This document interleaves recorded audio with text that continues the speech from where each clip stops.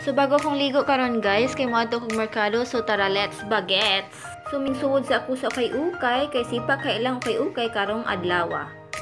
So nakakita kog na bag-ong abling tindahan ug mao kini ang ginganlan na cooler. So tan-aw nato unsay mga tinda diri. So mao kini ang mga tinda sa atong bag-ong tindahan diri. Charot lang, makagutom man sad ni. Oy, lami kayog na kay partner ba? Charot.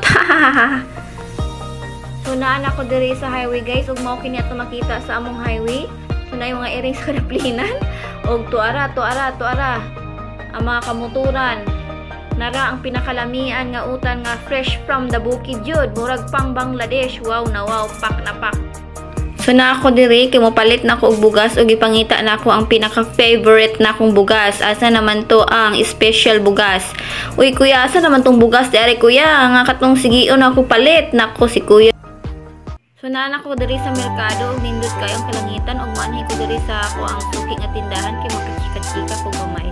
Charot. So mao kini ang tindahan og babaka mabudol na sad ko ani. Budol jud ko ani ba?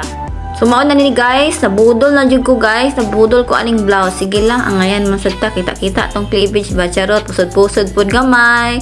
Ay nako. So that's all guys. This is me, Beauty Flora.